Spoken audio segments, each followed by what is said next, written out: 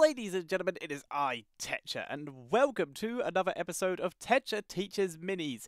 Now, I heard what you guys said. I rambled a bit too much in the previous episode, so I will be attempting to keep these at minimum under 10 minutes. So, yes, these will become minis. And secondly, a reminder please head to my Patreon where you can support me in making these kinds of videos. So, this is a show where I find just little tips that I think that players who have just come to the game or players who are trying to improve the game themselves might want to know and might be able to use. And this one is a request that I got from everyone. Like, so many people put this uh, request in the comments. And that is map awareness. How do you teach map awareness? It's a very difficult thing to impart on someone. It's hard to impart the wisdom.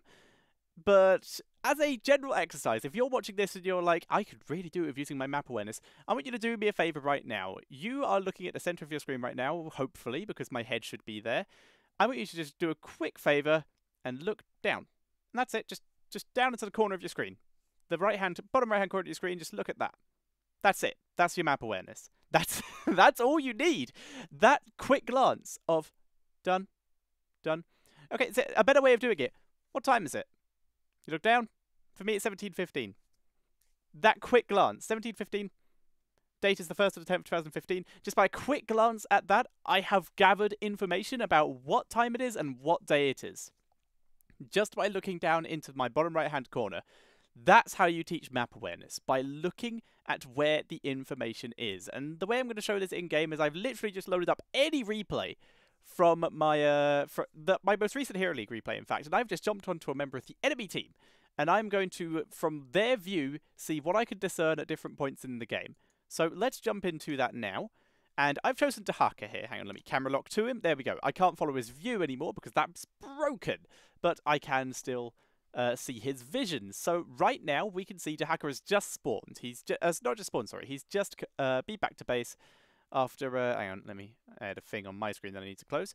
Uh, he's just respawned, uh, not respawned, sorry, he's just beat back to base after taking some damage, and the objectives have just started, which is perfect timing for him. So let's discern, just by looking in this bottom right-hand corner, what we can figure out about what's happening in the game. So for starters, we can see that top lane is under a bit of pressure. Kael'thas and Malfurion are the minimum of the two we can see in that top lane. They are pushing onto Falstad. The fact that Falstad is so far back in his base probably means he's taken some damage.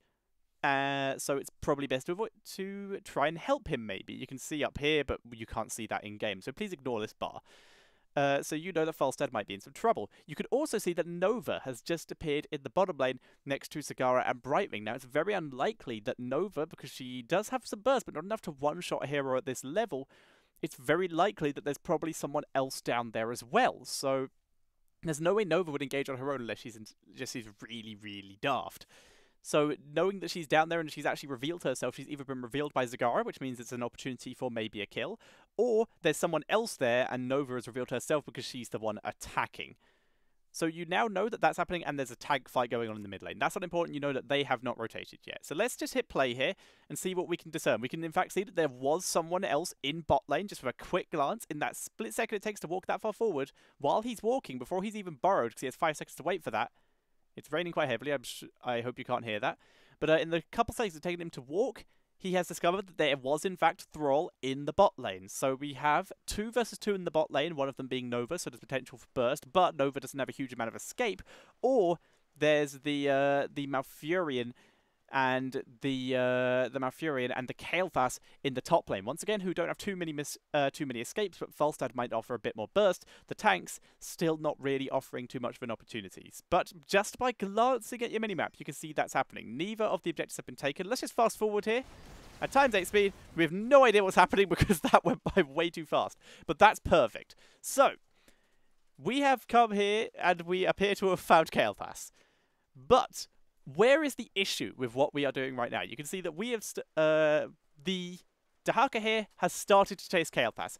However, what he's done here is he's kind of abandoned his Falstad, who had, does have Brightwing with her, but is a bit too low. It might be better just to leave the Kael'thas, turn around and try and deal with the Malfurion and remove the healing.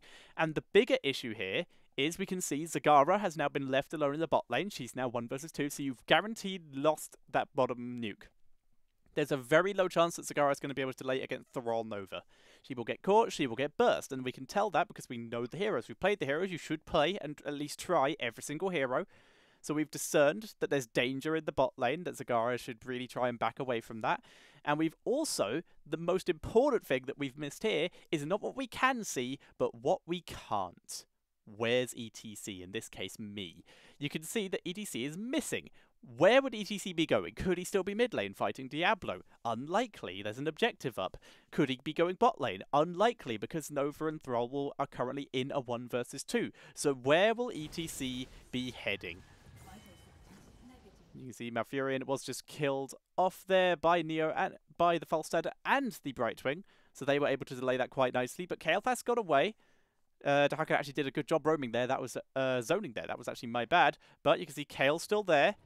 The objective has been started. Once again, we're still missing ETC. He hasn't shown up bot lane, and here he is. You now you knew he was roaming up there. It might have been better for while Brightwing was trying to capture the point, or Falstad trying to capture the point, as he's the one with the least amount of health. Maybe Brightwing had zoned over here where Kael'thas was, and Dehaka had stayed down here. Map awareness could have prevented this situation here, where both people have had to ditch the tribute, and ETC is actually going to very nearly get the kill on Falstad and force Brightwing to use most of her abilities.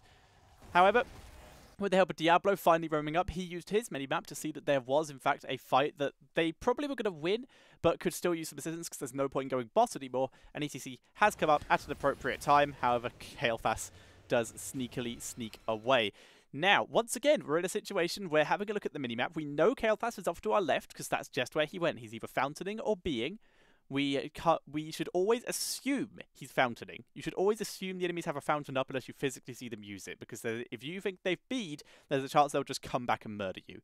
So we know that Kael'thas is off to our left. ETC is currently uh, fighting two versus one uh, below us. Falstad has very little health. We don't know if he has a fountain available, so he could be, in theory, be going back. In fact, we should be able to see in the chat... We can. Falstad is halving. So we know that Falstad is being back to base. Z uh, Zagara has also had to just respawn after having some trouble with Nova and Thrall in the bot lane. And finally, we can see that that Nova is in fact missing again. So we don't know where she is on the minimap. So where is the only thing that she will be coming to to try and find? That is right where you are. So Dehaka, he is getting some XP here, but he's not helping his team grab the objective because ETC is still delaying. He finally comes down. But at this point, Malfurion's already come back to life. Nova is in theory on the way if the sensible decision is to be believed. Falstad was able to be and fly back though, so that is quite nice. And Nova, as it turns out, was not coming to help. She was grabbing the nuke. But Dehaka could have guaranteed his team the nuke far quicker, allowing them to maybe move to mid and react to Nova. Uh, sorry, Dehaka would be able to guarantee his team the nuke quicker if he'd stayed and zoned as opposed to soaking that little bit of extra XP. You can go for the XP in a second, the minions aren't going to die in one hit. So uh, you can see there where map awareness is going to try and give you an advantage. It takes a very quick glance at your minimap to guarantee a huge amount of information. Just know what the icons are, you can see where everyone is. I'm like glancing at mine now.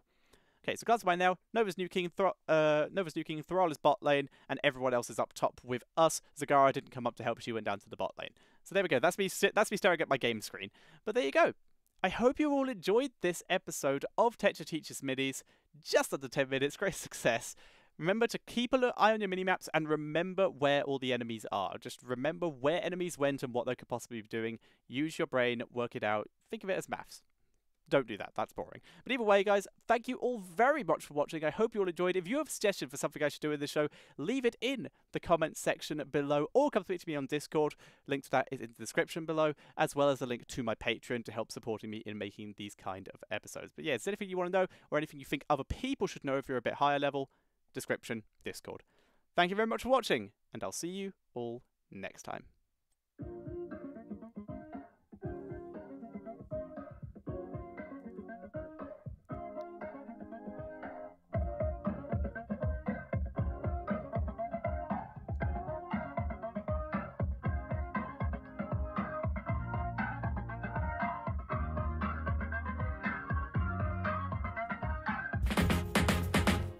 Alright, kick back, relax, and let's hit it again. While you go tell your mother, father, cousin, the kid, And your other friends that don't even have a clue What this Sudo crew is about to do. You know it ain't fool's gold, this is kryptonite. Super MCs freeze when I hit the mic.